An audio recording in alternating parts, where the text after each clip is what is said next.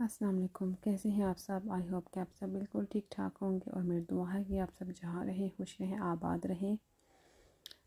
आमीन, सुम, आमीन। तो मैं यहाँ पे सुबह सुबह अपनी बेटी के लिए नाश्ता बना रही थी। उसको न्यूटेला ब्रेड खानी थी तो उसके लिए मैं न्यूटेला ब्रेड बना दे रही थी उसको, साथ में मिल्क तो उसको सुबह नाश्ता देने के बाद फिर मैं अपने लिए और अपने बेटे के लिए नाश्ता बनाने लग गई। तो बेटा मेरा मोस्टली वीटाबिक्स ही खाता है, पता नहीं उसे क्या है, वो वीटाबिक्स के अलावा कोई और चीज़ इतनी खाता नहीं है लाइक कॉर्नफ्लेक्स राइस क्रीम्स उसको नहीं अच्छे लगते। अगर बना भी दूँ तो वो खाता नहीं है। तो ये है कि बच्चे जो खाएँ, उनको वो दे दिया जाए तो ज़्यादा बेहतर है ना खाने से। तो जब तक मैं नाश्ता बना रही होती हूँ, साथ में सोच रही होती हूँ कि मैं खुद क्या खाऊँ, हर रोज़ मुझे सोचना पड़ता है, क्योंकि मुझे समझ नहीं, दिल बहुत करता है कि कुछ खाऊं, लेकिन जो है समझ नहीं आ रही होती कि क्या खाऊं, क्या ना खाऊं। तो सुबह सुबह बड़ा डिप्रेसिंग सा हुआ होता है मेरा मूड मुझे जो है ना भूख भी लगी होती है और समझ भी नहीं आ रहा होता। तो फिर मेरे पास एक आइडिया आया कि चीज़ दोनों तरह की पड़ी हुई थी। तो मैं क्यों ना चीज़ के साथ कुछ ऐसा बना लूँ कि मज़े का भी हो जाए और पेट भी फुल हो जाए, क्योंकि मैं दिन को खाती नहीं हूँ। लंच में नहीं करती, मैं सिर्फ़ नाश्ता करती हूँ नौ या दस बजे। तो उसके बाद रात को मैं खाती हूँ, दिन में कभी फ्रूट ले लेती हूँ इस तरह। तो इस वजह से फिर मुझे नाश्ते के लिए कुछ ऐसा चाहिए होता है कि जिससे मेरा पेट भी फुल रहे और जो है जो दिन में जस्ट फ्रूट खाऊँ और इनफ हो जाए। तो फिर यहाँ पे मैंने अपने लिए ब्रेड निकाली। ये फ्रोज़न वाले स्वीट कॉर्न थे तो इनको स्वीट कॉर्न को मैंने जो है जस्ट थोड़ा पानी में डाला और माइक्रोवेव में रख दिया। तो माइक्रोवेव में रखने के बाद जो है यहाँ पे मैं ब्रेड के ऊपर चीज़ स्प्रेड कर दूँगी। चीज़ को स्प्रेड करने के बाद जो है मैंने इसमें जो है बाकी भी चीज़ें ऐड करनी थी लाइक चिली फ्लेक्स जो दरदरी मिर्च होती है वो अगर आप चाहें तो ऐड कर सकते हैं। मैंने बस थोड़ी सी ऐड की और फिर माइक्रोवेव से निकाल के लाई में, जब स्वीट को ये नरम नरम हो चुके थे तो इनको भी यहाँ पे स्प्रेड कर दिया। ये बहुत ही ज़्यादा मज़े का और टेस्टी नाश्ता मेरा बना था। अगर आपने ट्राई नहीं किया तो आप इसको ज़रूर ट्राई कर सकते हैं। यहाँ पे मैं एयर फ्रायर यूज़ कर रही हूँ। आप इसको फ्राई पैन में या फिर ग्रिल में भी कर सकते हैं। लेकिन मेरे पास थोड़ा क्विक था तो मैंने जो है इसमें कर लिया। बहुत मज़े का बनता है इसमें। चिली फ्लेक्स को इस तरह थोड़ा थोड़ा अपने हिसाब से स्प्रेड कर लें और जो है तीन से चार मिनट के लिए एयर फ्रायर को चला दें। तो ये खुद रेडी हो जाता है। बहुत ही मज़े का और टेस्टी ये देखें। जब चीज़ मेल्ट होती है तो इसमें सारे स्वीट कॉर्न जो है वो स्टिक हो जाते हैं तो बहुत ज़्यादा टेस्टी लगते हैं। तो जी, आज मैं बात करूँगी यूके में इस्लामिक स्कूल्स के बारे में, कि यूके में इस्लामी तालीम दी जाती है या नहीं दी जाती। बहुत सारे लोगों का यह ख्याल है कि यूके में सिर्फ़ इंग्लिश स्टडी और क्योंकि नॉन मुस्लिम मुल्क है तो इस्लामिक स्टडी नहीं दी जाती, लेकिन ऐसा नहीं है। बिल्कुल भी यहाँ पे भी इस्लामिक स्कूल्स हैं हाँ है, लेकिन प्राइवेट हैं, लेकिन इस्लामिक स्कूल्स भी हैं यहाँ पे। तो जैसे कि पाकिस्तान में स्कूल्स मदारस और मसाजिद हैं, इसी तरह यहाँ पर भी मदारस भी हैं और मसाजिद भी हैं।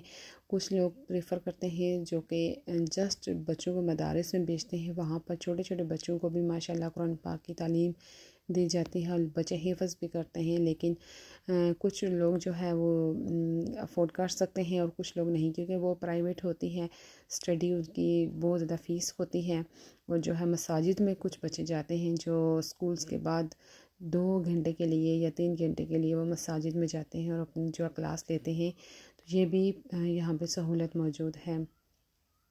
उसके अलावा यहाँ पर ऑनलाइन हर चीज़ बहुत ज़्यादा मानी जाती है लाइक किसी को शॉपिंग भी करनी है तो ऑनलाइन करती है तो इसी तरह जो है यहाँ पे स्टडी का भी बहुत ज़्यादा हाथ है, ऑनलाइन में कुछ लोग जो है बच्चों को जस्ट घर में ऑनलाइन पढ़ाते हैं। जिस तरह आप घर बैठे पाकिस्तान से टीचर से बात कर लें और अपने बच्चों को पढ़ा लें, या जहाँ से भी बहुत ज़्यादा लोग जो है ऑनलाइन स्टडी करवाते हैं बच्चों को कुरान पाक की तो आप ऑनलाइन भी उनसे रबता कर सकते हैं। लोग इंस्टाग्राम व्हाट्सएप और स्काइप वगैरह पर जो है बच्चों को पढ़ाते हैं।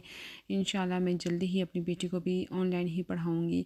तो अगर आप लोगों को भी किसी अपने बच्चे को पढ़ाना है तो आप ऑनलाइन पढ़ा सकते हैं या फिर इस्लामिक स्कूल्स में भी भेज सकते हैं।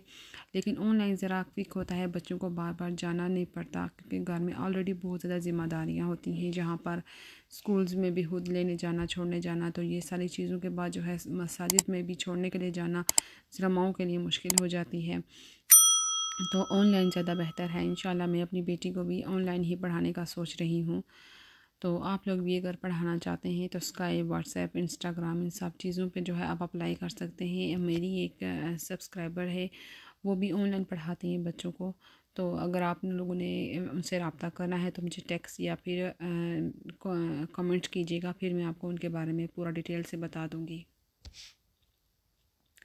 तो जी इस्लामिक स्कूल में बहुत ज़्यादा तालीम दी जाती है। ये नहीं कि बस थोड़ा थोड़ा बताया जाता है। माशाल्लाह इतनी ज़्यादा डीप तरीके से बताया जाता है बच्चों को कि बहुत ही ज़्यादा तमीज़दार जो है ना बच्चे वहाँ से बन के आते हैं। तो बहुत अच्छा लगता है। ऐसा नहीं है बिल्कुल भी कि थोड़ा थोड़ा पढ़ा देते हैं और बेच देते हैं। तो इस्लामिक स्कूल जो है यहाँ पे मौजूद हैं। जिन लोगों का ख्याल है कि यहाँ पे इस्लामिक स्टडी नहीं दी जाती वो गलत है। यहाँ पे हर तरह की तालीम आपको दी जाती है। हाँ ये होता है कि ये कंट्री जो है थोड़ा सा डिफरेंट है तो इस वजह से लोगों को लगता है कि यहाँ पे शायद नहीं दी जाती होगी। अक्सर ममालिक में ऐसा भी होता है कि नहीं वहाँ पे पढ़ाया जाता लाइक बहुत सारे कंट्रीज़ हैं जहाँ पे इस्लामिक स्टडी नहीं दी जाती। तो यहाँ पे लेकिन अल्लाह का शुक्र है कि बहुत ज़्यादा सहूलत है हम मुसलमानों के लिए कि हम अपने बच्चों को आराम से जो है बेच सकते हैं मसाजिद में भी और मदारस में भी।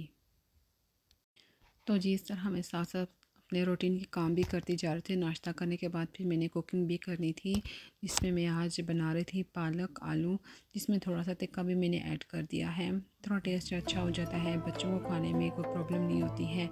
जिस तरह अलग से सब्ज़ी बनाओ तो बच्चे थोड़ा चूज़ी हो जाते हैं, उनका मूड नहीं होता। तो इस तरह जो है चिकन ऐड कर देने से चिकन जो है ना, वो टेस्ट को और इन्हेंस कर देता है तो बच्चे भी आराम से खा लेते हैं। उम्मीद है कि आज की वीडियो आपको अच्छी लगी होगी। अगर आपको अच्छी लगी है तो प्लीज़ वीडियो को लाइक सब्सक्राइब और शेयर कीजिएगा और कमेंट करके बताइएगा वीडियो आपको कैसी लगी है। मुझे इजाज़त दें। अल्लाह हाफिज़।